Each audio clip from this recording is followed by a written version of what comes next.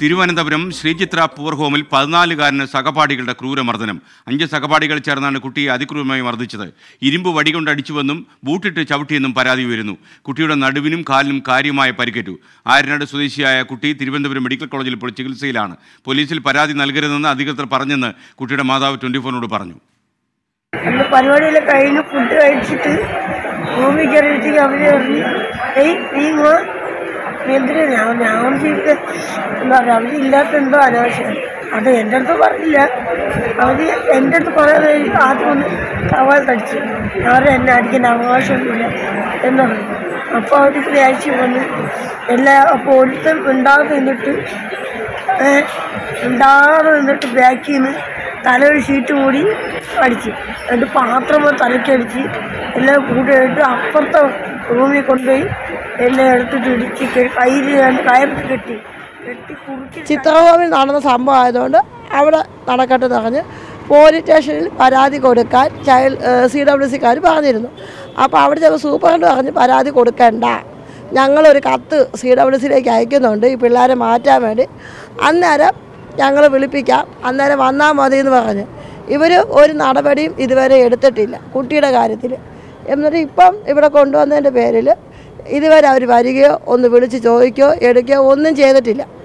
ഇത്ര നേരം ഇത്ര ദിവസമായിട്ട് പോലും ഒന്നും ചോദിച്ചിട്ടില്ല. അതും പോരാട്ട് ഇപ്പം ഈ റിപ്പോർട്ട് ചൈൽഡ് ലൈനുകാരും എന്നാണ് വാങ്ങിച്ചു തന്നത് സ്കാനിങ്ങിന്റെ റിപ്പോർട്ട്. എന്നുവെച്ചാൽ ഒരു ഗ്ലാസ് വെള്ളം വാങ്ങിക്കാൻ പോലും നിവൃത്തിയില്ലാതെയാണ് ഞാനിപ്പോൾ ഇവിടെ ഇവിടെ കിടക്കുന്ന കുട്ടിയെ കൊണ്ട് വകുപ്പ് മന്ത്രിക്ക് പരാതി നൽകാൻ ഒരുങ്ങുകയാണ് കുട്ടിയുടെ കുടുംബം. വിവരങ്ങളുമായി ഷെഫീദ് റാവുത്തർ ചേരുന്നു. ഷെഫീദ് ഗുഡ് മോർണിംഗ് പറയൂ. ഷെഫീദ് കേൾക്കാനുമോ? കേൾക്കാൻ കഴിയുമോ? വിവരങ്ങൾ പറയൂ.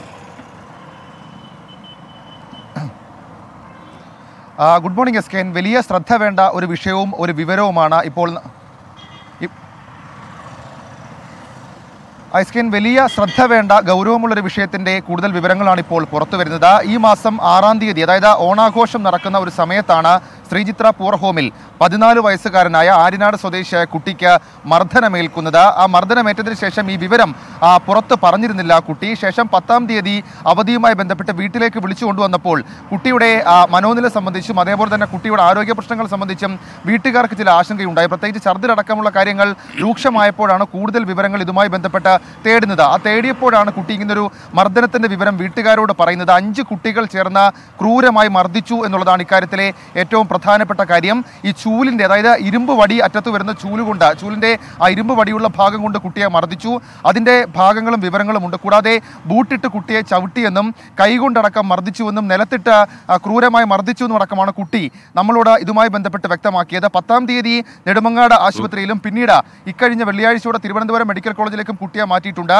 കടുത്ത നടുവേദന അടക്കമുള്ള കാര്യങ്ങളാണ് കുട്ടി ഇപ്പോൾ ഇതുമായി ബന്ധപ്പെട്ട് ഫേസ് ചെയ്തതുമാണ് കുട്ടിയുടെ ആരോഗ്യനില സംബന്ധിച്ച കാര്യം. പക്ഷേ ഇതിന്റെ ഗൗരവം വർദ്ധിപ്പിക്കുന്നത് ഈ രക്ഷിതാക്കൾ.